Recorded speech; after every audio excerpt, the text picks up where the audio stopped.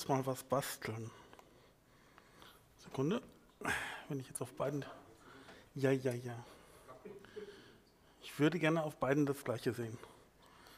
So. Äh, da. Browser-Tab ist noch da. Wir wollen jetzt mal diese schöne, unübersichtliche Netzwerktopologie basteln, die zugegebenermaßen etwas übertrieben ist, aber ich wollte mal ausprobieren, was das Zeugs kann. Ich starte das mal hier und erkläre dann gleich, was das tut.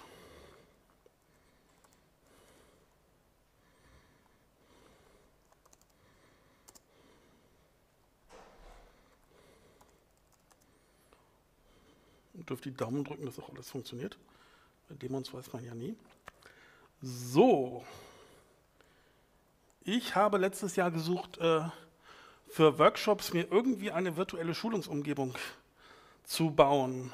Das endete dann darin, dass ich bei Hetzner einen relativ fetten Server gemietet habe, habe ein paar obskure Shell-Skripte gebaut, ein paar Ansible-Playbooks, war damit aber nicht ganz so zufrieden und dann lief mir irgendwann Container Lab über den Weg. Ich habe es auch auf meiner alten To-Do-Liste wieder gefunden, also es muss, muss, mir schon letztes Jahr über den Weg gelaufen sein. Äh, dazu wollte ich euch gerne mal was erzählen, weil ich finde das recht nett. Äh, wer bin ich? Ich bin der Typ, der mal auf der DNOC-Mailing-Liste die Einladung für den Admin-Stammtisch rumschickt. Wenn der Stefan jetzt da wäre, wüsste ich auch, ob, ich, ob wir nächste Woche, nächsten Monat einen Vortrag haben und wenn ja, welchen. Ich bin Freelancer. Ich habe mit Linux angefangen, als es auf 35 Disketten ausgeliefert wurde. Ich mache IPv6, Netzwerkkram, Automatisierung, Monitoring und ich bin käuflich, wie das Freelancer vielleicht schon andeutet. Ja. Äh, Container Lab ist ein Command-Line-Tool, um sich Labs aufzubauen. Das Ganze basiert auf Docker. Es hat keine GUI, was für viele ein Vorteil ist, für viele aber auch ein Nachteil. Äh, es ist in Golang geschrieben. Da habt ihr die Webseite und das GitHub-Repository. Und ich werde jetzt, glaube ich, den morgigen Tag damit verbringen, so das einige oder andere Issue mal zu reporten, was mir so im Laufe der Zeit beim, bei der Vorbereitung des Vortrags aufgefallen ist. Also es ist noch nicht ganz perfekt, würde ich mal so behaupten. Aber es tut schon. Äh, es gibt ein paar andere Produkte, EveNG, GNS3 von Cisco, das Virtual Modeling Lab von Juniper DV Labs, wobei, soweit ich das verstanden habe, sind die V-Labs von Juniper feste Topologie und man kann nicht selbst zusammenklöppeln. Äh, Cisco Modeling Lab ist relativ Cisco-lastig. EveNG und GNS3 haben jeweils GUIs, mit denen man sich was zusammenbauen kann.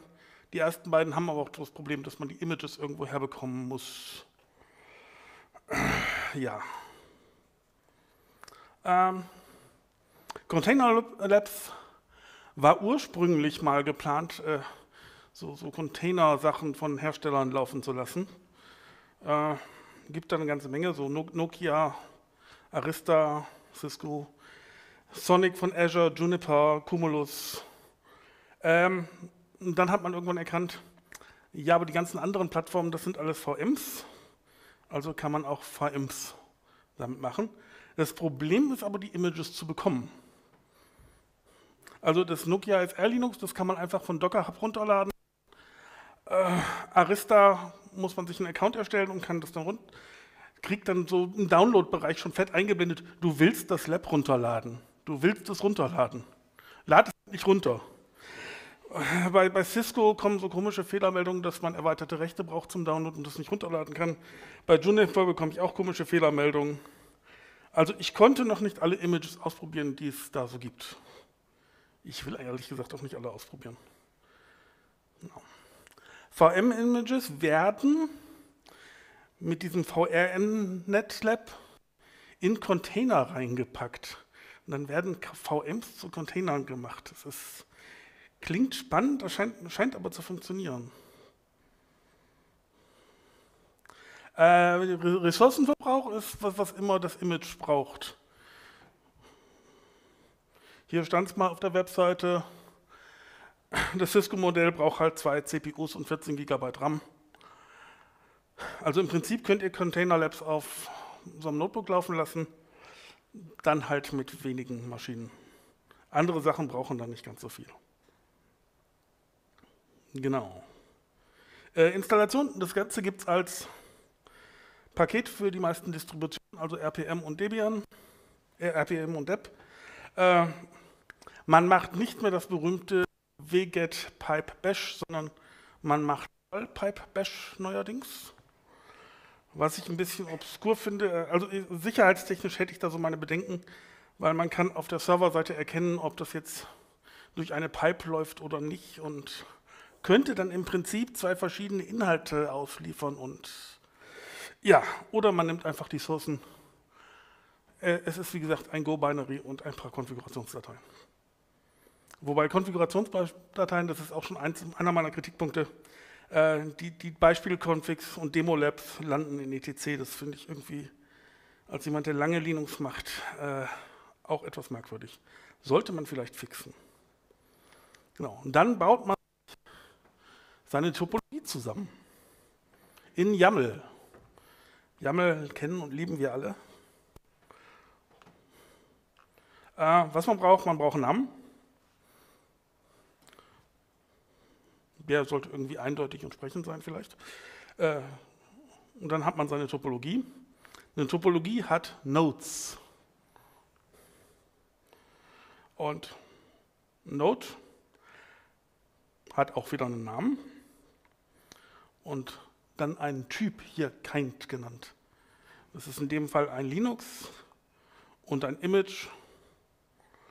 Und hier kommt das Image von der Docker, Registry von Free Range Routing mit einer konkreten Version. Wenn man die Version wegnimmt, äh, weglässt, nimmt er Latest, was er finden kann.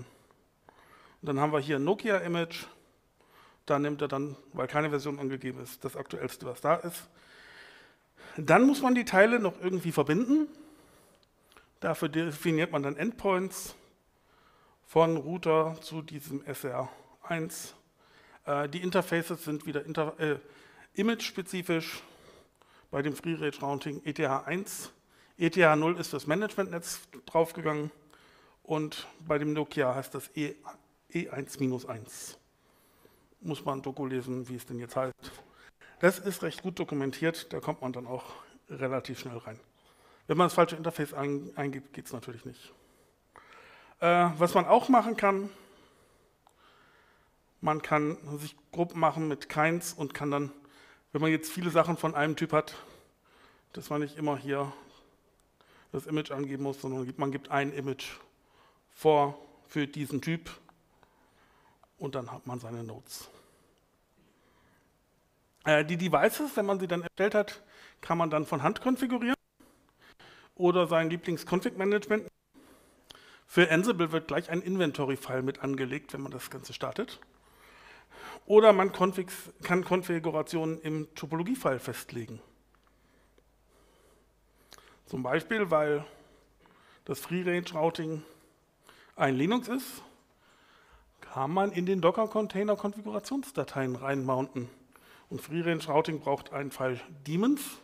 Dann wird gesagt, sprich, du kannst BGP, OSPF, was auch immer. Und die Konfiguration vom Free-Range-Routing.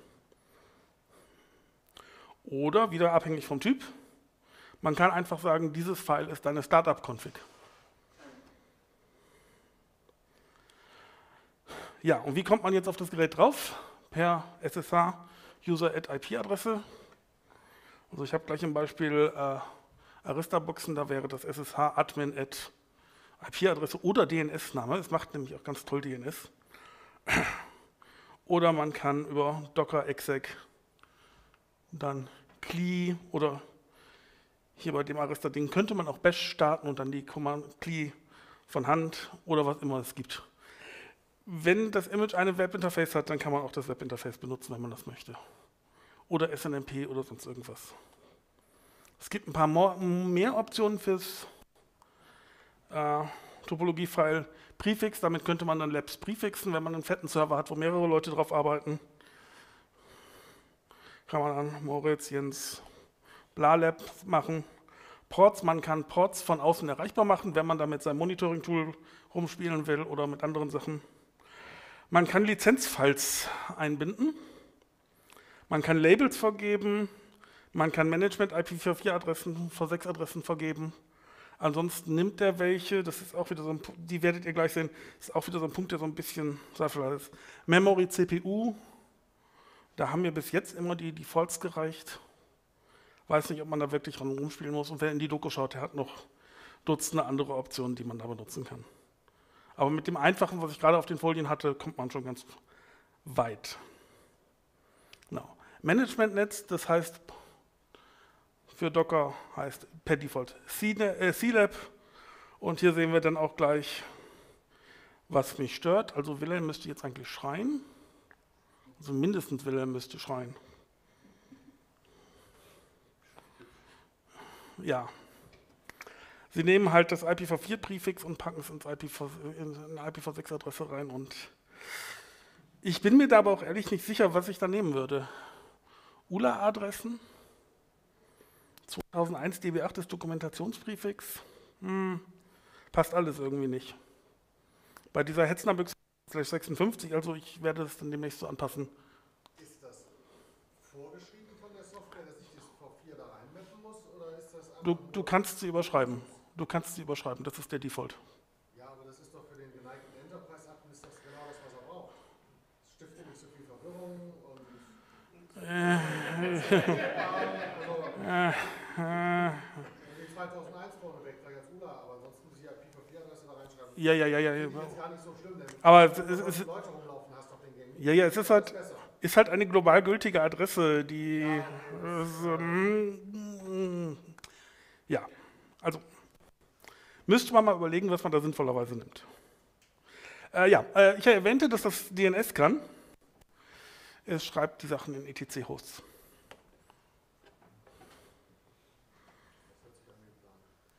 Es funktioniert dann lokal auf der Maschine. Laptop oder ein Server, wo du per SSH drauf bist, da funktioniert es. Ansonsten muss man halt selbst schauen, was man da macht. Es löscht wieder raus, wenn man das löscht. Es ist jetzt, als würde das Ding da immer weiter wachsen.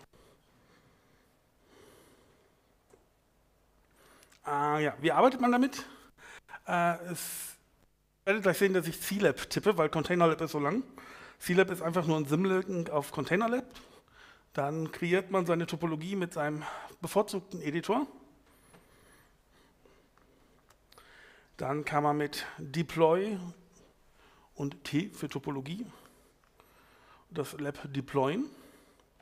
Dann kann man damit arbeiten. Dann kann man es natürlich speichern und das Schöne ist, er speichert dann gleichzeitig sämtliche Konfigurationen aus den, aus den Maschinen, die man da angefasst hat, speichert damit ab. Das Ganze kann man mit Git versionieren, kann das Ganze dann auf GitHub oder sonst irgendwo hinschmeißen, auf den internen.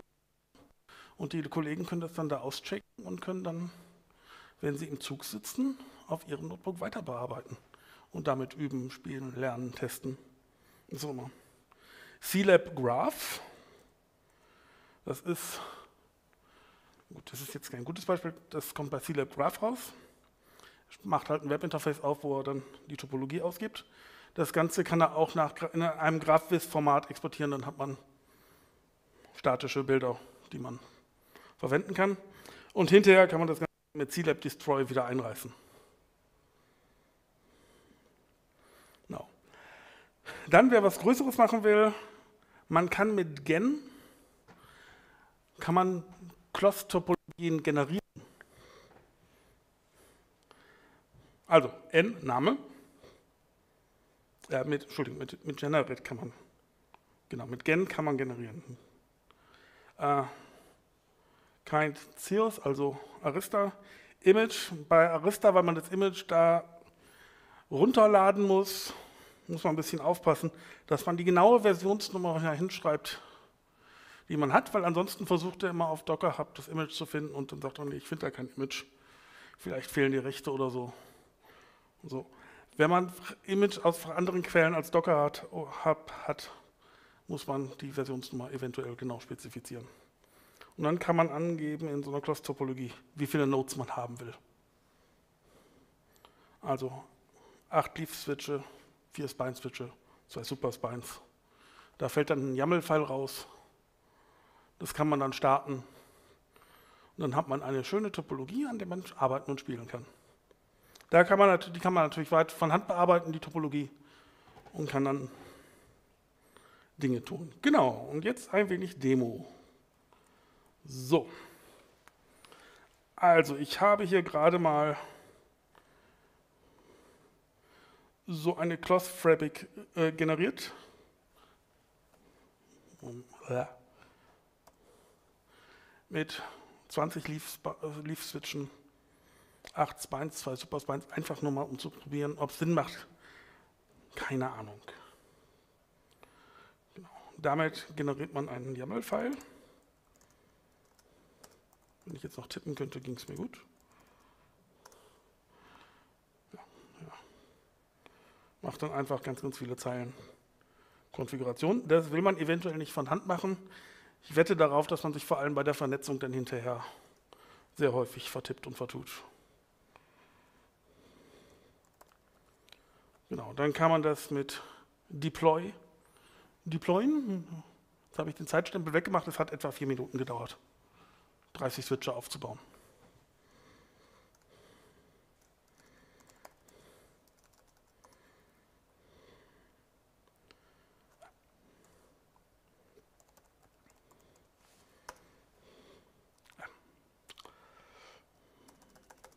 Oh, ist dann weg. Das ist auch noch so eine Sache, die mir, äh, man muss immer das Topologie-File angeben, obwohl es da nur eins gibt in dem Verzeichnis. Das ist auch etwas verbesserungswürdig, meiner Meinung nach. Genau. Und da hat man dann seine 30 Nodes und könnte da theoretisch irgendwo drauf marschieren.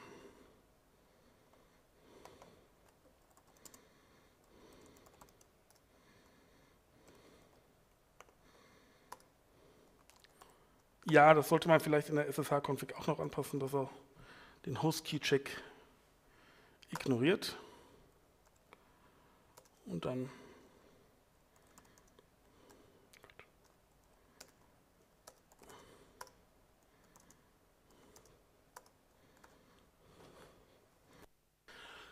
hat man hier seine Arista-Kommandozeile, auf der man rumspielen kann.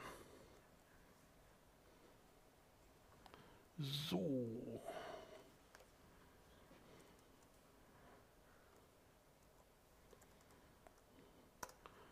Das Ganze kann man dann auch Graph, mit Graph kann man dann, wie gesagt, die schicke Topologie malen, die in der Größe jetzt deutlich zu unübersichtlich ist. Also das, was man bei GNS3 macht, dass man davon Handstriche zieht, das ist hier halt genau umgekehrt. Ja.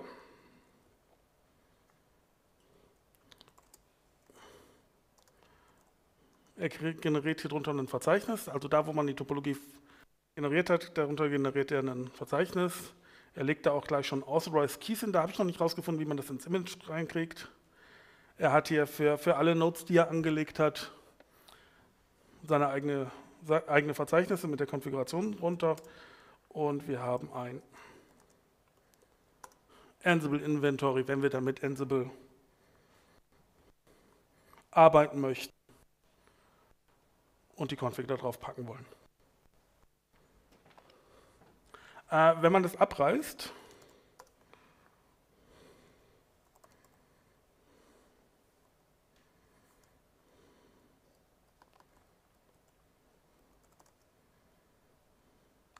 Achso. Wenn man das abreißt,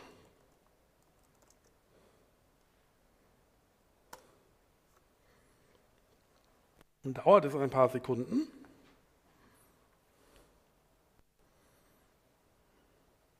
Der Server wird bei der Menge Container auch noch recht gut beschäftigt sein. Als letzte Meldung, er hat wieder die etc-Hosts aufgeräumt. Aber die ganzen Konfigurationen liegen da noch rum und man kann sie weiterverwenden. Und wenn man es jetzt wieder neu startet, dann hat man sie auch wieder da. So, habt ihr soweit noch Fragen? Ja. Wo kommen denn die, die Images von den Geräten her? Machen sich die ein bisschen die Mühe oder ist es sozusagen. Ähm, gehen wir mal zurück. Also das Nokia SR von, von Docker Hub. Äh, das Arista ist vom Hersteller, also die Images sind alle direkt vom Hersteller. Du brauchst halt eventuell auch die Rechte, sie dann zu nutzen. Also so, so, ein, so ein VMX ist halt so eine Juniper MX in virtuell, die du auch wirklich als Router benutzen kannst. Und wenn mein Hersteller jetzt hier nicht auftaucht, Hast du Pech gehabt. Also du kannst dann deinen. Also du kannst, also hängt dann davon ab, ob dein Hersteller überhaupt so sowas Virtuelles hat.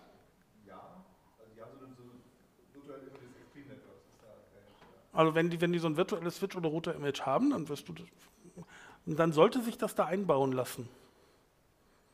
Ist halt Open Source und man sollte so ein bisschen Go kennen, aber der Rest sieht nicht so kompliziert aus.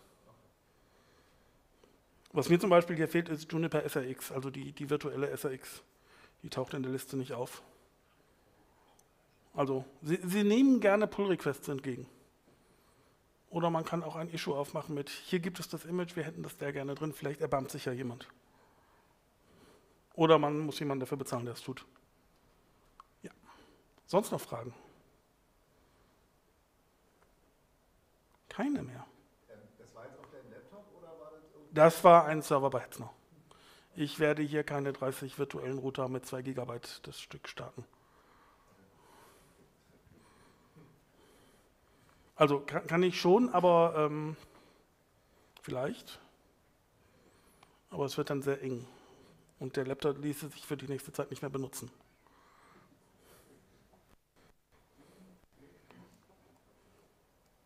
Er hat nur 32 Gig.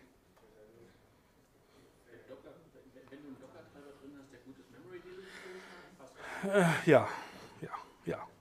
Ja, also gibt dann noch so ein paar Stellen, an denen man arbeiten müsste, aber ich finde es ganz nett und ich werde jetzt mal noch weiter damit spielen und versuchen und mal schauen, was ich noch so an Images bekomme. Nachdem ich jetzt endlich wieder einen funktionierenden Juniper-Account habe. Ja. Ja. Gut in der Zeit. Wenn ihr keine Fragen mehr habt, dann übergebe ich an Moritz.